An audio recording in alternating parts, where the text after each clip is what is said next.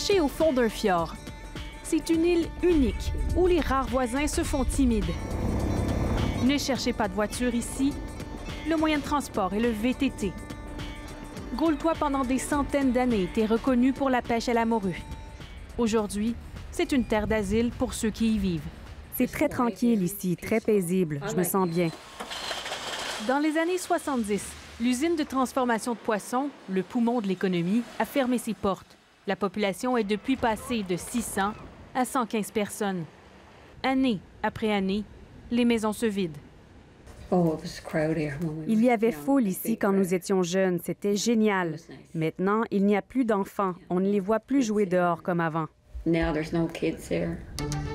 Sur Goultois, comme sur des dizaines d'autres villages de la province, une menace plane, la fermeture.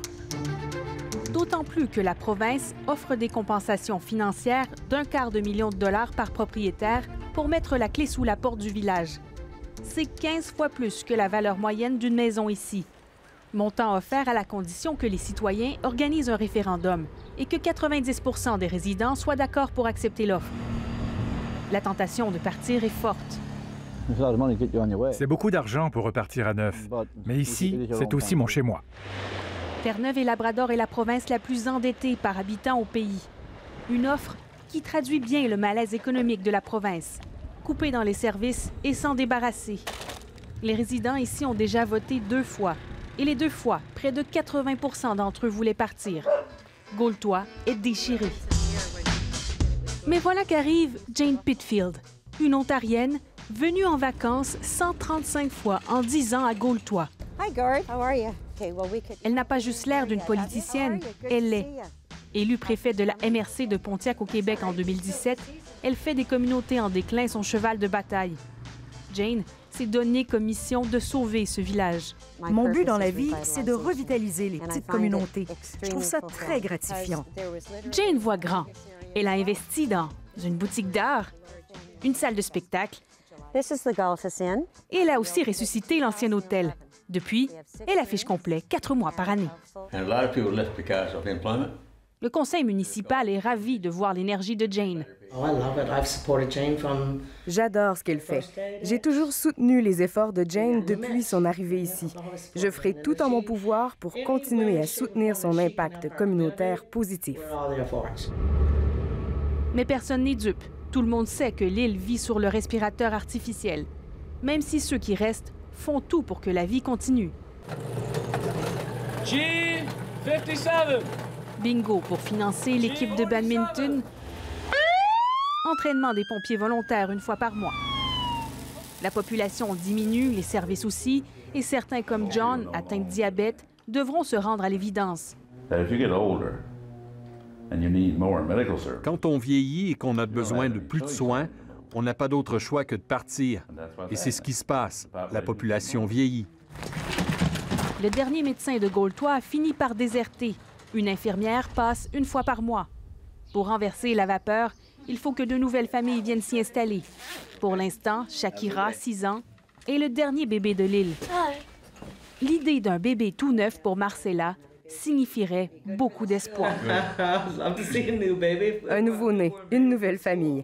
Ce serait parfait pour garder l'école ouverte. J'aimerais beaucoup voir un nouveau bébé ici. Pour attirer des jeunes, il faut des emplois. Et en ce moment, il n'y a qu'un seul employeur à Gaultois. Cette ferme d'aquaculture qui se situe environ à 10 minutes de bateau de Gaultois emploie environ un tiers de la population de l'île. En plus de vouloir générer des emplois grâce au tourisme, Jane a une autre solution et elle y croit plus que tout. Transformer la défunte usine en serre hydroponique. Elle veut fournir des légumes frais à toutes les communautés voisines. Ses rêves sont louables, mais sont-ils suffisants? Même les derniers jeunes sont incrédules. Well, it'd be nice having more people coming in, more Yeah. students for school. Well, it's a little late for that, honestly, Yeah. because there's not really much to come back to here. Like, there's no like job keeping it alive. Like back in the 1900s, it was a fishery, but now we don't really have anything to build around. Is any of you thinking of staying at all? No. No. No. Le doute, on le sent. Et l'odeur de l'argent pourrait finir par gagner ceux qui résistent.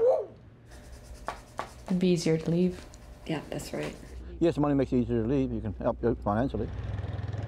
Jane croit que le gouvernement réduit la présence sur l'île à un simple fardeau financier. C'est de la corruption pure et simple.